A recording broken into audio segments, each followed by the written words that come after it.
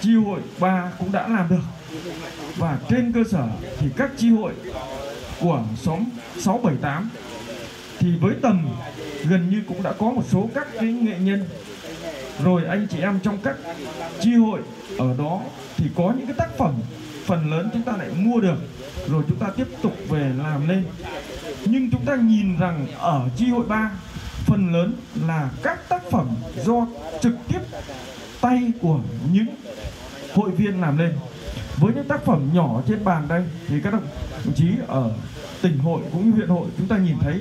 chỉ là một cành xanh rất đơn thuần. Có thể nếu như bình thường chúng ta vứt bỏ đi, nhưng chúng ta biết được tạo và từ những cái bàn tay khéo léo, thì cây cảnh đã được đặt lên và là trở thành một cái cây như vậy là để chúng ta là vui chơi, rất là đẹp. Đó là cái sáng tạo của nhân dân và cũng như là hội sinh cảnh của thôn ba cũng đang phát triển. Và tiến tới đây thì chúng ta thấy là riêng trong bốn chi hội mà tổ chức được cái giao lưu cây cảnh thì tôi thấy rằng ở chi hội ba thì tất nhiên là công lao rất lớn. Ở chỗ như vậy là ông dần là như vậy là người con em của thôn ba hiện nay đã trở về đang ở sống trong thôn bảy. Và cũng hiện nay là thuộc là lớp thầy giáo để như vậy là đào tạo các uh, hội sinh vật cảnh để luyện chúng tay nghề nâng cao để có những cái tác phẩm đẹp hơn. Thì cái này đó là cái cái, cái công nào mà chúng ta cũng cũng đang nhìn thấy. Thì tôi rất mong muốn rằng không những chi hội ba mà tiến tới chúng ta nhiều những chi hội khác trong xã. Hiện nay thì chúng ta có 9 chi hội, nhưng bây giờ mới bốn chi hội thì chúng ta đã làm được. Cái việc là chúng ta tổ chức như vậy là để mà giao lưu sinh vật cảnh, học hỏi nhau để làm những cái tác phẩm mà có giá trị về kinh tế và nó lại là chơi cây cảnh. Nên ra ở khu vực xóm 3 đấy chúng ta vườn rất rộng nhưng mà chúng ta nhìn thấy nhà nào bây giờ cũng có cây cảnh. Và đó là tự tay những người đó làm lên. Chứ cũng không phải là chúng ta phải là thuê hay là phải đi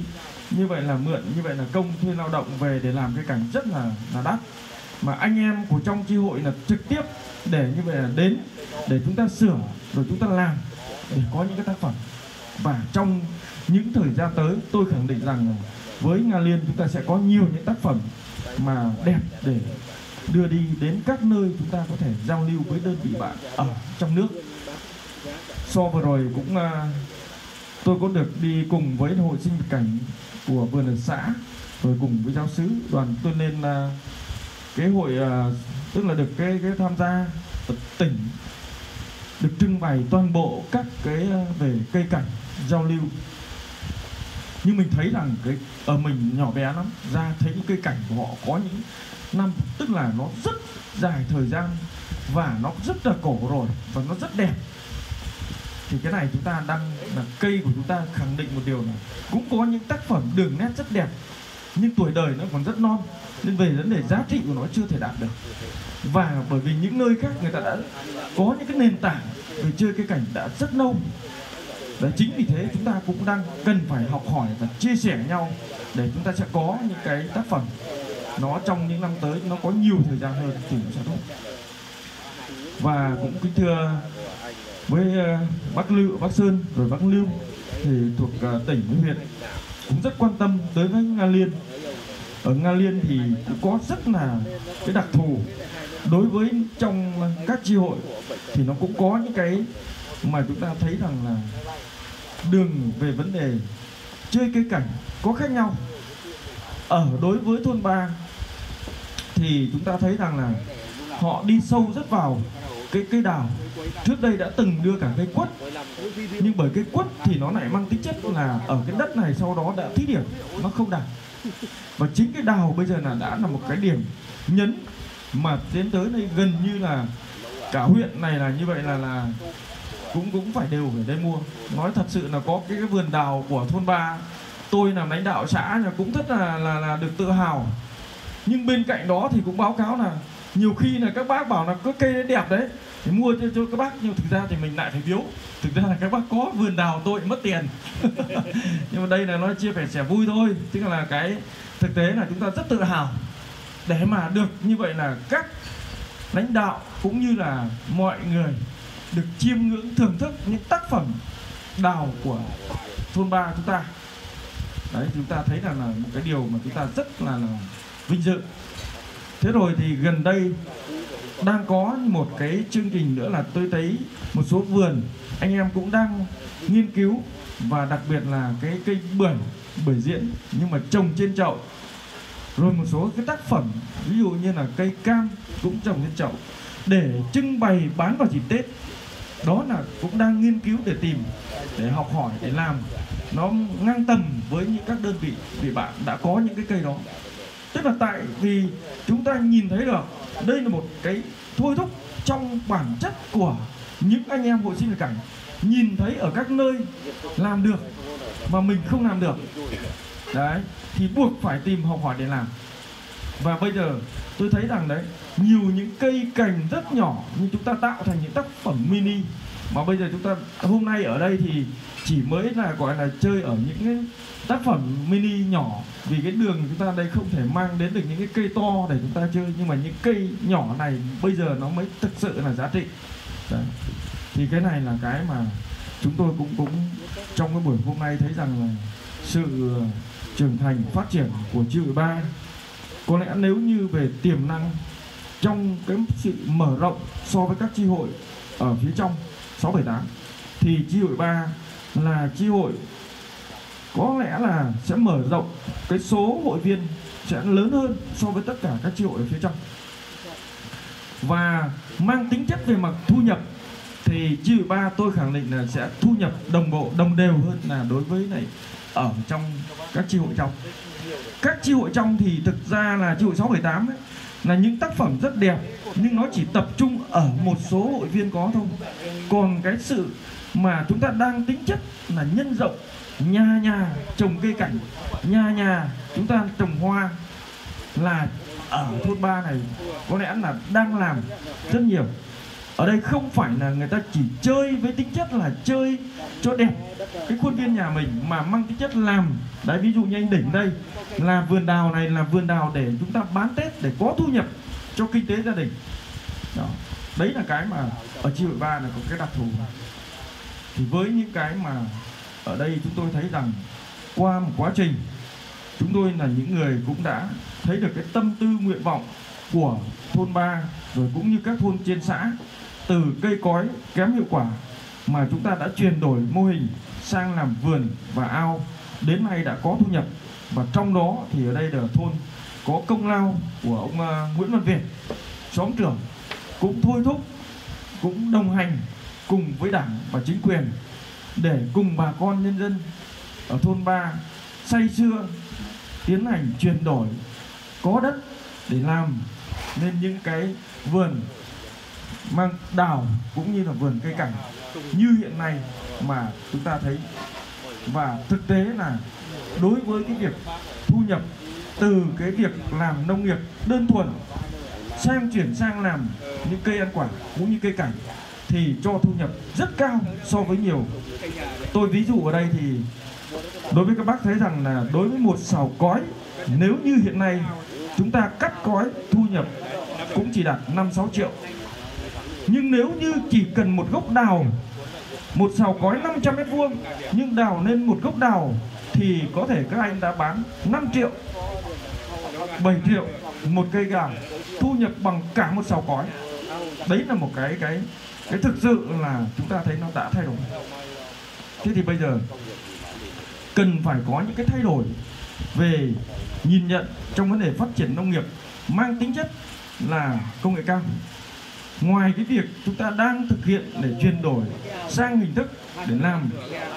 chuyển đổi cây trồng, sang cây cảnh, còn cũng như một số trong thôn ở trong xã cũng đã đang chuyển sang cái mô hình để chúng ta làm cái vườn mang tính chất nông nghiệp cao để trồng các loại hoa quả mang ở trong nhà màng, nhà lưới. Cái này là cái cũng để thay đổi để phát triển cho nhân dân. Thì thưa với hội nghị, cũng để mà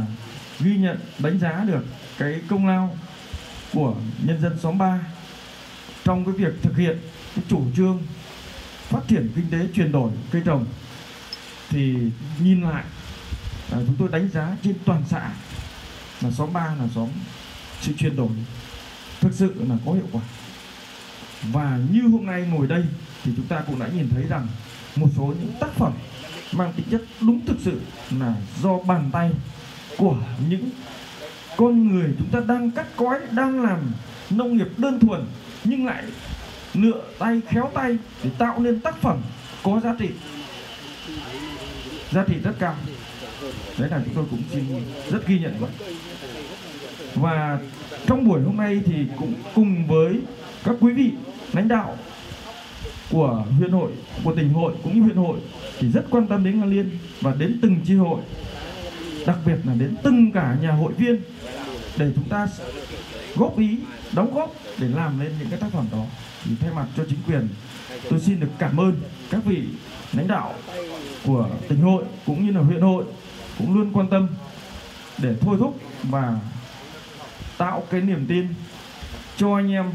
ở hội viên trong toàn xã và phát triển tốt cái lĩnh vực này. Và cũng đã đánh giá thành tích cao của các tri hội và đặc biệt là với hội của xã được tặng giấy khen để cho người vậy là động viên, khuyến khích tinh thần cho anh em. Và để tiếp tục mà duy trì, phát triển thì tôi cũng đề nghị với hội sinh lực cảnh của xã, chúng ta có cách cùng với để các chi hội xây dựng và phát triển mang tính chất là cùng giúp nhau để các chi hội khác đang còn đuối về cái khả năng về kỹ thuật học hỏi để làm, thì chúng ta cũng nên san sẻ để chúng ta có thể là ở đây thì chỗ ông dần cũng đã có những cái lớp để mà để mở và đào tạo anh em học hỏi từ cái công tác cắt tỉa hay là các cái lĩnh vực về liên quan đến cái cảnh. Thì cái này chúng ta nên nhân rộng mở ra các cái mô hình đó để cho các chi hội của hiện nay có năm à chín chi hội. Thì năm chi hội chúng ta à, bốn chi hội chúng ta đã tổ chức để giao lưu được rồi. Còn lại các chi hội khác thì chúng ta cũng đang phát triển manh muốn, nhưng cũng có rất nhiều những cây cảnh rất đẹp. Mà thực tế là chúng ta chưa xây dựng được cái phong trào đó.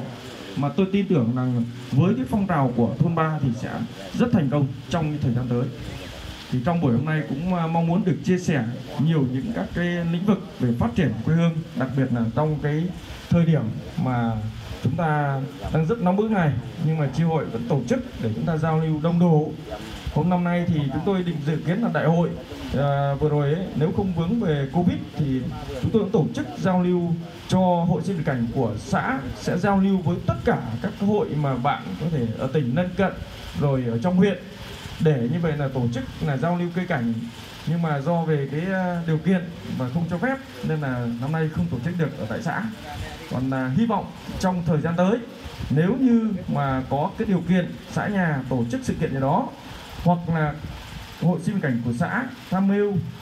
hợp lý, thì chúng tôi sẽ tạo điều kiện để cho như vậy là hội cùng tất cả các tri hội, chúng ta tổ chức giao lưu cây cảnh tới ở quy mô rộng hơn nữa chứ trước đây chúng ta mới ở giao lưu ở quy mô ở các ờ, uh, chi hội thôi chưa giao lưu ở các hội xã. Đấy thì cũng, cũng đấy là cũng cũng để cho các uh, chúng ta sẽ tiếp tục làm một điều đó. Thì uh, cũng rất là tham vọng để muốn nói nhiều về những cái thành tích của các uh, chi hội mà đặc biệt là trong đó chi hội ba chúng ta đang là nền tảng phát triển. Thì cũng à, một lần nữa thay mặt cho đảng ủy ủy ban nhân xã xin được kính chúc sức khỏe tất cả các à, quý vị đại biểu, đại diện cho tỉnh hội, huyện hội, cùng toàn thể tất cả các anh chị em tham gia từ các tri hội, rồi là các hội viên trong tri hội. Một sức khỏe, hạnh phúc và tiếp tục thành công trên lĩnh vực phát triển cây cảnh của xã nhà cũng như của tri hội. Xin trọng cảm ơn. Như lời ý kiến phát biểu của ông ờ, Trần Văn Bình, Phó Bí thư Chủ tịch Ủy ban nhân dân xã Hà Liên đã có đôi lời để chia sẻ với hội nghị chúng ta. À, một lần nữa cũng uh, xin được uh, thay mặt cho ban tổ chức cũng mong muốn rằng uh, sự quan tâm của các cấp lãnh đạo đảng chính quyền xã Nga Liên luôn luôn quan tâm đến hội sinh vật cảnh xã Nga Liên đến từng chi hội đến từng hội viên đặc biệt là đối với chi hội thôn ba À, ngày hôm nay như tất cả quý vị chúng ta được biết là đây cũng là một trong những đơn vị đang có một uh, sự phát triển rất mạnh ờ, về làng hoa cây cảnh. Xin được uh, trân trọng cảm ơn những lời phát biểu ý kiến của ông ờ, uh, Bình. Kính thưa quý vị, thú vui nghệ thuật cây cảnh đã có từ xa xưa là thú vui tao nhã đã có các bậc nghệ nhân tiền bối để lại cho chúng ta những tác phẩm nghệ thuật quý giá. Trải qua lịch sử gần một thiên niên kỷ, hình thành và phát triển, sinh vật cảnh Việt Nam đã dần khẳng định chỗ đứng vững chắc nhất trong đời sống không chỉ góp phần chỉnh trang văn minh nông thôn đô thị, làm đẹp môi trường và cảnh quan. Và trở về tham dự với tri hội ba của chúng ta ngày hôm nay. Sau đây, xin được trân trọng giới thiệu và kính mời ông Nguyễn Dụng Lưu, ủy viên ban chấp hành tỉnh hội, chủ tịch hội sinh vật cảnh huyện Nga Sơn. Sẽ lên có đôi lời phát biểu ý kiến trân trọng kính mời ông. Kính thưa các đồng chí, thay mặt cho đảng ủy ủy ban nhân dân xã nga liên, kính thưa các đồng chí ờ, thay mặt cho hội sinh vật cảnh tỉnh thanh hóa còn cùng toàn thể hội viên hội sinh vật cảnh xã nga liên, đặc biệt hội viên sinh vật cảnh xã chi hội ba xã nga liên về đây dự buổi, được về đây dự buổi ờ, giao lưu, sinh hoạt hội của chi hội ba xã nga liên hôm nay. Thì tối hôm, báo cáo là tối hôm qua, chiều hôm qua tôi có dự cái chi hội 4 thì sau xong khi dừng xong chi hội bốn có về với chi hội ba để cùng các đồng chí chuẩn bị về công tác tổ chức cũng như công tác trưng bày cây cảnh hội ba. Ở đây thì cái không khí hôm qua rất nhộn nhịp đưa cây và các đồng chí ra chuẩn bị các cái cơ sở vật chất cho ngày hôm nay. Thì lúc bây giờ các đồng chí cũng đã xin ý kiến và tôi đã có ý kiến chỉ đạo ở trong cái buổi hôm qua. Và cùng cái, cái, cái xin các đồng chí xin, các anh xin các cái nhận xét. Thì hôm qua tôi đã có ý kiến với các anh rồi thì hôm nay chúng ta tổ chức buổi hôm nay ấy, thì thời gian nó có hạn tôi có nói quan sát một số câu là cái cái hay cái đẹp cái làm được của thi hội ba thì là rất nhiều là rất lớn. Mà đặc biệt ở đây hôm qua tôi cũng đã dành thời gian để nói chuyện với các các, các bác các anh ở trong chi hội hôm qua là rất nhiều về cái mạnh cái yếu và cái phát huy của chi hội chúng ta. Mà đặc biệt hôm được dư với chi hội ba và chi hội bốn hôm qua thì tôi phát hiện ra một cái điều là tất cả các hội viên đấy cứ gọi ông dần là thầy là thầy giáo. Thì thực sự ra đây thay mặt cho huyện hội cũng là báo cáo với tỉnh hội cùng các đồng chí trong ban trong ban lãnh đạo huyện thì đây là một cái hiện tượng mới và lạ trong các cái tổ, tổ chức hội sinh vật đảng thì một người như ông dần là một ông phó chủ tịch hội ờ, sinh vật đảng của xã một trước kia là một chi hội trưởng một chi hội mà thường thường người ta làm nghề, làm nghề thì có nhiều ông nhiều anh người ta giấu cái nghề. Mà đây là tiền ông dần là tổ chức. Đến nay là ba lớp học rồi mỗi một lớp ba đến bốn chục người. Thế thì các hội viên mà học một truyền nghề một cách rất nhiệt tình đến từng nhà một cầm tay chỉ việc mà không lấy một đồng công. Thậm chí mà thấy gia đình mà kinh tế chưa phải là khá giả thì lại còn không ăn cơm. Và dành tiền đấy để mua đôn mua chậu để dựng lên những cái ngôi nhà vườn những cái vườn tiêu biểu như hôm nay. Mà kinh tế xã hội của xóm ba như các đồng chí lãnh đạo xã đã nói cùng cùng anh em đấy thì ở đây chưa phải là một xóm khá giả như so với các xã khác. Thế nhưng mà một cái mặt bằng về sinh vật cảnh của xã ta của cái chi hội ba là một cái chi hội là có một cái mặt bằng an toàn. Về tất cả các cái tác phẩm của các, các anh làm ấy là nó mang cái chất là bình dân và chi tiêu để tiêu thụ được ở trong mặt bằng của huyện của xã một cách rất là bình thường. Hàng năm hàng tháng như tôi theo dõi là nếu một một chi hội chúng ta thu nhập rất nhiều tỷ trong một năm cái này là một cái thu nhập rất lớn so với tôi làm nông nghiệp thì thay mặt cho uh, hội chức ban chấp hành hội sinh cảnh huyện là cũng là trả lời là biểu dương cái tinh thần mạnh mẽ,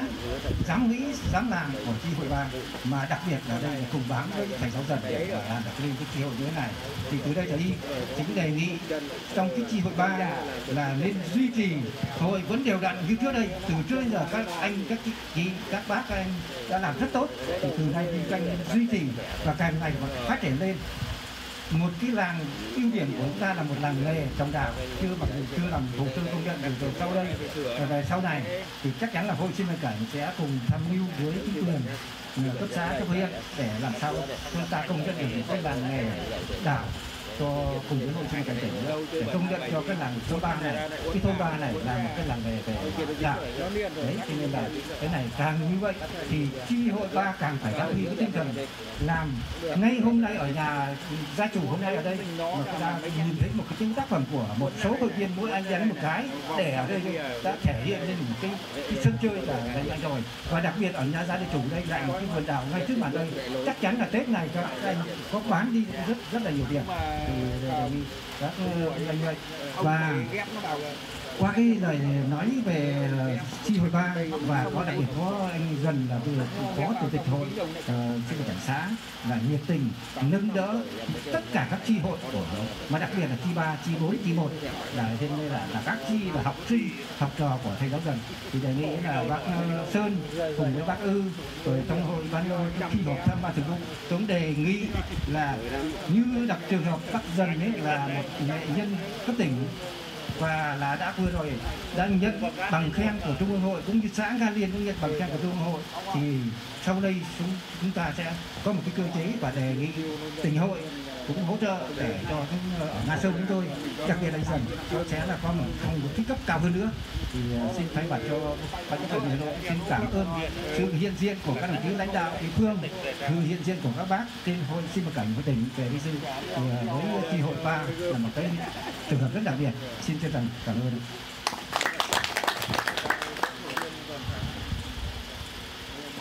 C3 ngày hôm nay đến từ ông ờ, Nguyễn Dụng Lưu, Ủy viên Ban chấp hành tỉnh hội, Chủ tịch Hội sinh vật cảnh huyện Nga Sơn. À, những tình cảm cũng như là những lời chia sẻ đối với chi hội, đối với tất cả các hội viên à, có những uh, tác phẩm nghệ thuật và hôm nay cũng uh, chọn lọc ra một số các tác phẩm để đưa về trưng bày và để cho toàn thể quý vị chúng ta à, cùng uh, thưởng thức. Kính thưa quý vị, những người yêu cây cảnh ở nhiều nơi trên thế giới. Họ khác nhau ở màu da, tiếng nói, môi trường văn hóa và nền tư tưởng, vật chất, tinh thần. Nhưng lại giống nhau ở niềm đam mê, đi tìm vẻ đẹp trong thiên nhiên, kiến tạo những giá trị văn hóa mới. Và trong mối quan hệ hài hòa giữa con người với thiên nhiên và sinh vật cảnh. Từ lâu con người đã nhận ra thế giới này quả là rộng lớn và có nhiều việc phải làm,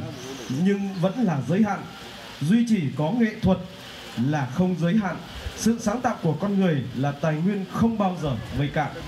Nghệ thuật là những kết quả, những gì thăng hoa, hướng thiện là sợi dây kết nối vô hình giữa con người với thiên nhiên,